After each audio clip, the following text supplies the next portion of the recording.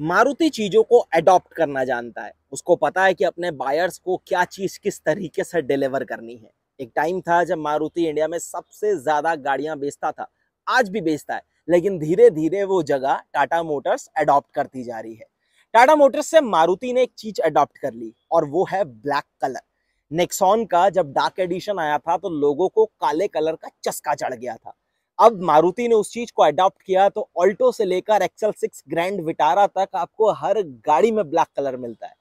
Maruti Celerio. ज़्यादातर ये गाड़ी जो है, वो शहरी बाबू लोग यूज़ करते हैं, जिन्हें डे टू डे बहुत हैवी ट्रैफ़िक में चलना है माइलेज बहुत अच्छा चाहिए है, गाड़ी प्रैक्टिकल हो, अच्छी दिखती हो स्पेस अच्छा मिल जाए बूट स्पेस अच्छा मिल जाए इंजन से रिलेटेड कोई दिक्कत ना आए, ज़्यादा सरदर्दी जिन्हें नहीं चाहिए, उन्हें मारुति की सिलेरियो चाहिए।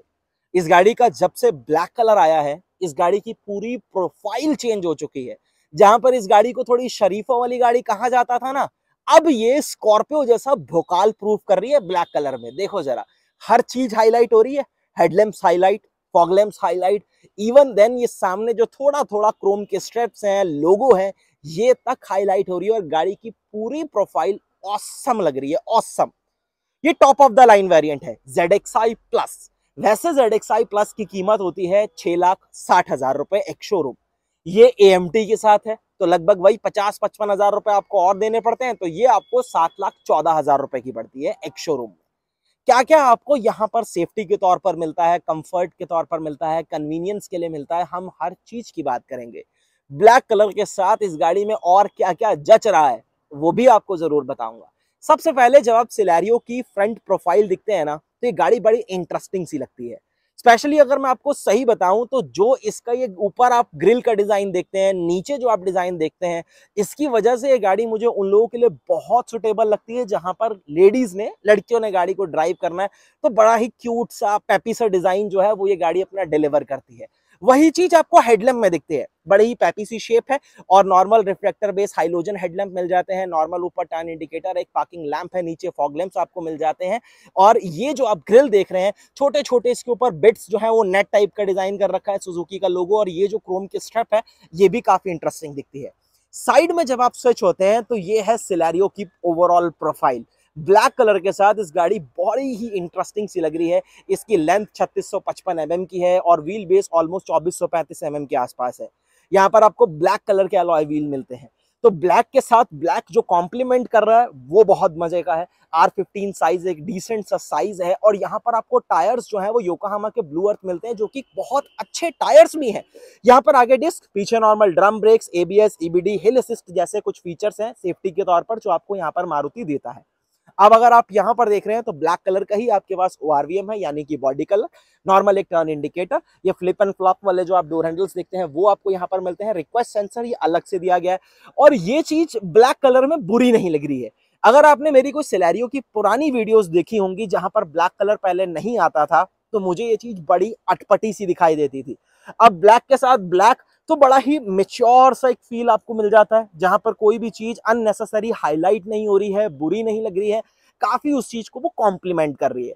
ए बी सी तीनों कलर आपको जो है वो बॉडी कलर मिल जाते हैं। ब्लैक कलर ऐसा है कि जहाँ पर आपको ब्लैक स्पेस टेप यूज़ करने की मारुति को ज़रूरत पड़ी नहीं। और यहाँ पर इस तरीके से रूफटॉप के ऊपर आपको एंटीना मिलता है, यानी इस वेरिएंट में भी आपको शार्कपिन एंटीना नहीं मिलेगा। रेयर में आ जाइए। पीछे जब आप स्विच होते हैं तो यहाँ पर आपको गाड़ी की मेच्योरिटी और उसके डिज़ाइन और उभर के सामने आते हैं। रीजन रीजन है ये ब्लैक एंड रेड का कॉम्बिनेशन आहा, क्या मज़ा आता है गाड़ी को पीछे से देखते ही। एक तो ये ड्रॉपलेट स्टाइल के जो इसके टेल लैंप्स हैं, बहुत सुंदर लगते हैं। इस गाड़ी के डिज़ाइन को कॉम्प्लीमेंट करते हैं। नॉर्मल है, यानी कहीं एलईडी नहीं है, सब हाईलोजर है stop lamp turn indicator reverse lamp सब। नीचे रिफ्लेक्टर्स वो हाईलाइट हो जाते हैं। साथ में आपको दो यहाँ पर जो है, वो केवल आपको मिलते हैं रिवर्स पार्किंग सेंसर्स कैमरा नहीं आता। अब पीछे भी देखिए, ये चीज़ हाईलाइट होती थी ना रिक्वेस्ट सेंसर लेकिन ब्लैक कलर के साथ नहीं हो रही है, जो कि बहुत सही चीज़ है। सिलेरियो की ब्रांडिंग सुजुकी का लोगो वाइपर वॉशर डिफॉगर और ऊपर एक high mounted normal stop lamp वो भी एलईडी नहीं है। अच्छा लग रहा है फ़िलहाल ओवरऑल यहाँ से अगर आप इसे ऊपर कर लेते हैं तो यहाँ आप जो है अपनी बूट को ऑपरेट कर सकते हैं। सबसे पहली चीज़ टेलगेट में जो आप ट्रिम देख रहे हैं, ये कवर्ड आपको मिलती है पार्सल ट्रे मिल जाती है। बूट स्पेस की बात करूँगा तो ऑलमोस्ट 314 या 315 लीटर के आसपास का आपको बूट स्पेस मिलता है। लोडिंग लिप काफ़ी हाई है मतलब आपको अगर बहुत ज़्यादा हैवी ट्रॉली बैग्स रखने हैं तो डेफिनेटली थोड़ी सी मेहनत करनी पड़ेगी। लेकिन इस सेगमेंट की गाड़ी से ये चीज़ डेफिनेटली आप कंप्रोमाइज कर सकते हैं। लेकिन स्पेस काफ़ी अच्छा है तो आपको कोई इतना बड़ा समस्या जो है वो यहाँ पर फेस नहीं करनी पड़ेगी। मैं आपको सही बताऊँ गाड़ी के फ्रंट फेशियर से भी ज़्यादा इंटरेस्टिंग सिलेरियो का ब्लैक कलर में इसकी रेयर प्रोफ़ाइल लग रही है। मज़ा आ रहा है और एक तक गाड़ी को देखते रहने का मन ज़रूर कर रहा है। ये कलर इस गाड़ी को कॉम्प्लीमेंट कर रहा है। वैसे मुझे पर्सनली सिलेरियो इतनी पसंद है नहीं, लेकिन कलर की वजह से प्रोफ़ाइल काफ़ी इंटरेस्टिंग लग रही है। अब अगर आप इस साइड स्विच होते हैं तो ये है गाड़ी की ओवरऑल प्रोफ़ाइल यहाँ आपको फ्यूल फिलिंग लेड मिलती है और इस टैंक की कैपेसिटी पेट्रोल टैंक की आपको मिलती है बत्तीस लीटर की थर्टी टू लीटर्स अब आ जाइए जरा कैबिन में। और कैबिन में जब आप स्विच होते हैं तो हमें सबसे पहले चाहिए चाबी। ये चाबी है जो आपको सिलेरियो के साथ मिलती है, वही मारुति की टिपिकल चाबी। पीछे इस तरीके से ब्लू टोन सुजुकी का लोगो लॉक और अनलॉक ये दो ऑप्शन आपके पास है। जब आप लॉक करेंगे गाड़ी को तो ये ओ आपके फोल्ड हो जाएँगे। और जब आप अगर अपनी गाड़ी को अनलॉक करते हैं तो ये अनफोल्ड ऐसे नहीं होंगे। जैसे ही आप गाड़ी के अंदर स्विच होते हैं, मैं चाबी अबर यहाँ पर रखता हूँ और मैंने अगर ये गाड़ी का इग्निशन ऑन किया तो आप देख सकते हैं कि ओ इसके अनफोल्ड हो चुके हैं। ओआरवीएम से आपको पावर एडजस्टमेंट मिलता है। लेकिन इसके कंट्रोल्स यहाँ डोर पर नहीं आते, यहाँ पर आपको कंट्रोल्स दिए गए हैं। आप इसके यूज़ टू हो जाएँगे शुरू शुरू में हो सकता है कि आपको थोड़ा सा ऑकवर्ड लगे, लेकिन ऐसा कोई मेजर इशू नहीं है। इजिली आप इसे ऑपरेट कर सकते हैं। Engine start and stop button ये साइड में क्रोम रिंग मिल जाता है राउंड शेप के आपको एसी वेंट्स मिलते हैं जो कि थोड़ा सा सिल्वर टचअप आपको मिलता है। गाड़ी की जो अंदर की थीम है ना, वो भी ऑल ब्लैक है। लेकिन बीच बीच में जहाँ पर ये सिल्वर के टचअप दिए गए इसकी वजह से गाड़ी थोड़ी सी मिच्योर फील होती है। नीचे एक प्रॉपर डेड पेडल मिलता है। अब यहाँ पर भाई साहब एएमटी का ऑप्शन आपके पास है तो ब्रेक और एक्सेलरेशन के पास आपके पास बढ़िया स्पेस है। फ्यूल फिलिंग लिड आप यहाँ से इजिली खोल सकते हैं और गाड़ी का हुड अगर आपको खोलना है तो ये ऑप्शन है। यहाँ पर आपको मैकेनिकल हेडलाइट लेवलिंग मिलती है। यानी आपको इलेक्ट्रिकल वो जो बटन आजकल हम देखते हैं ना, वो चीज़ नहीं दी गई जो कि मेरे हिसाब से होना चाहिए था। यहाँ पर आपको इलेक्ट्रॉनिक स्टेबिलिटी प्रोग्राम जो है इनेबल डिसेबल करना है तो आप कर सकते हैं और idle start and stop and go जो है, वो आपको मिलता है। सीटें फैब्रिक की हैं। लेकिन ये ब्लैक कलर की फैब्रिक सीट्स जो हैं, वो डेफिनेटली काफ़ी कंफर्टेबल हैं। हेडरेस्ट जो है, वो आपको फिक्स्ड मिलते हैं, लेकिन ये सीट्स आपको काफ़ी कंफर्टेबल मिल जाती हैं। मज़ा आता है इन सीट्स पर बैठने का, काफ़ी कुशनी सीट्स हैं और क्वालिटी से मारुति ने कोई खासा कंप्रोमाइज़ नहीं किया। सीट में आपको ड्राइवर साइड में इस तरीके से मैनुअली हाइट का जो एडजस्टमेंट है, वो भी मिल जाता है। चलिए अब अगर मैं डोर की बात करूँ तो यहाँ आपको कुछ भी नहीं मिलेगा ऑलमोस्ट सिर्फ़ एक सिल्वर टचअप के साथ डोर लीवर यहाँ आप अपना हाथ वगैरह रख सकते हैं, कहीं पर फैब्रिक या सॉफ्ट टच नहीं दिया गया, सिर्फ़ टेक्सचर अलग अलग है, जिसकी वजह से थोड़ा इंटरेस्टिंग सा फील होता है। यहाँ आपको बॉटल होल्डर थोड़ा एक्स्ट्रा स्पेस स्पीकर की प्लेसमेंट स्पीकर आपको चार मिलते हैं, चारों ही दरवाजों में स्पीकर हैं ट्विटर नहीं दिए गए। और ये कॉम्प्लीमेंट करते हैं इस सात इंच के टच स्क्रीन इंफोटेनमेंट सिस्टम के साथ।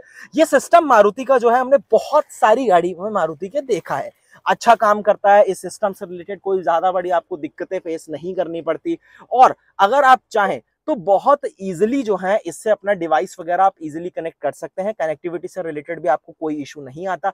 एप्पल कारप्ले एंड्रॉइड ऑटो आप इजीली इसमें यूज़ कर पाते हैं।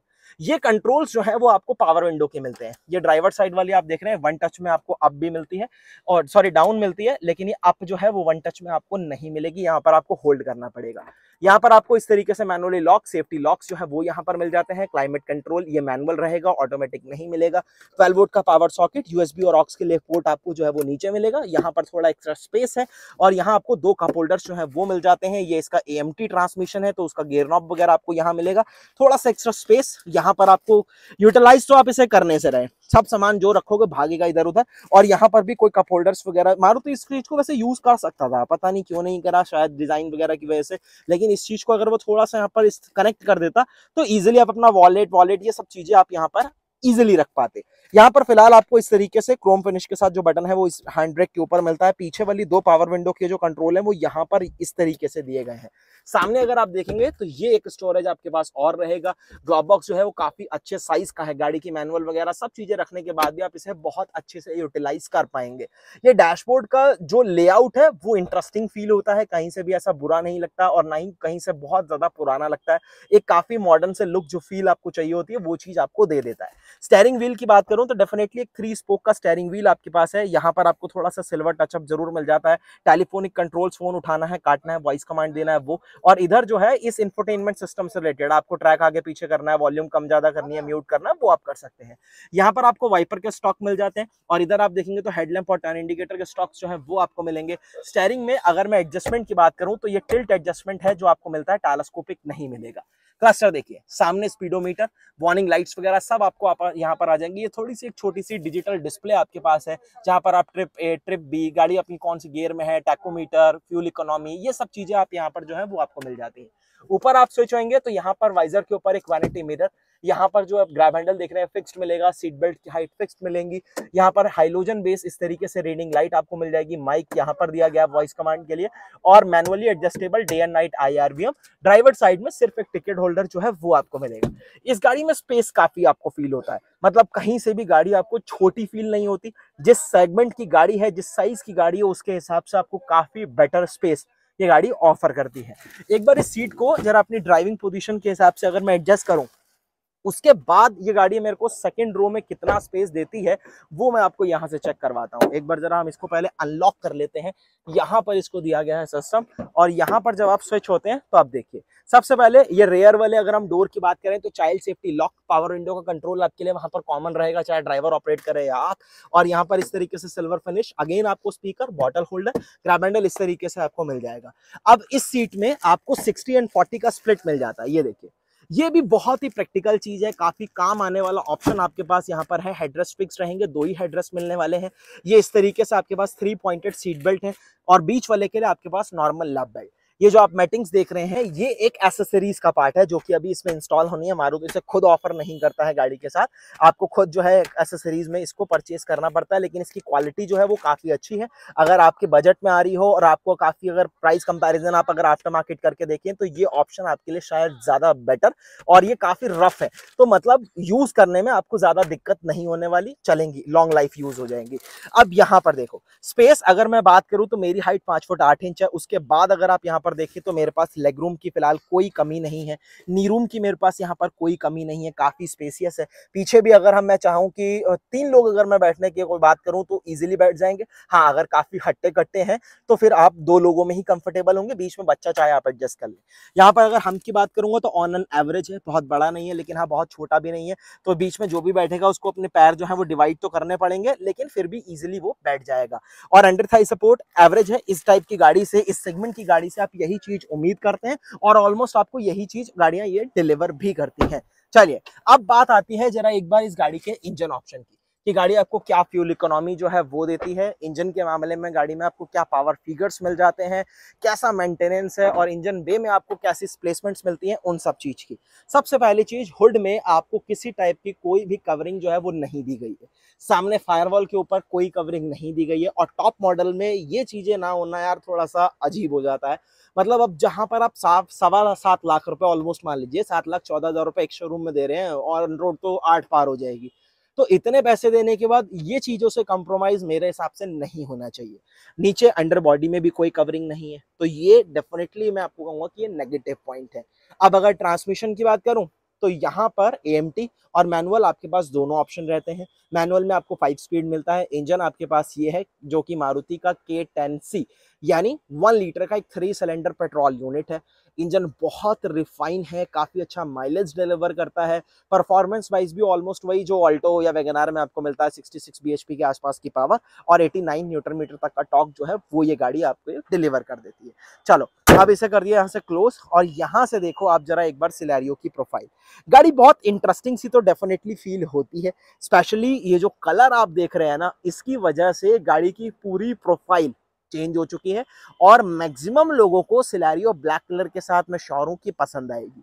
छोटी छोटी चीज़ें जब आपकी गाड़ी में हाईलाइट होना शुरू हो जाती है ना तो उस गाड़ी का लुक जो है वो डेफिनेटली इन्हांस हो जाता है। बड़े बड़े ब्रांड्स इन्हीं चीज़ों के ऊपर पैसा खर्च करते हैं किस तरीके से उसको ट्यून अप किया जाए कि गाड़ी अपनी रोड के ऊपर एक अच्छी प्रेजेंस दे।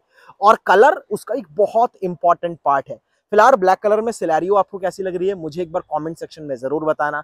इस गाड़ी की कीमत सात लाख चौदह हज़ार रुपए एक शोरूम है। अगर आप मैनुअल के लिए जाते हैं तो पचपन हज़ार रुपए कम कर लीजिए तो लगभग वही छह लाख साठ या छह लाख उनसठ हज़ार रुपए के आसपास आपको पे करने होते हैं। इस प्राइस के साथ इतनी फीचर लोडेड गाड़ी, इस स्पेस के साथ जो भी आपको मैंने सब बताया, सब आपके सामने है। इंजन ऑप्शन आपके सामने है, इसके पावर फिगर्स आपके सामने हैं। सेलेरियो काफ़ी पुरानी गाड़ी है तो बहुत लोगों का एक्सपीरियंस भी आपके सामने होगा। तो आप कितना वर्थ समझते हैं? यहाँ पर इस गाड़ी के लिए पैसे डालना, वो भी मुझे एक बार कमेंट सेक्शन में ज़रूर बताना। अगर आप सिलेरियो को ऑन करते थे पहले या अभी करते हैं तो एक्सपीरियंस आपका कैसा रहा है, वो भी ज़रूर बताना। उम्मीद करता हूँ वीडियो अच्छा लगा होगा। अच्छा लगा तो लाइक शेयर सब्सक्राइब करना मत भूलना। बहुत जल्द एक नई वीडियो के साथ मिलेंगे। धन्यवाद।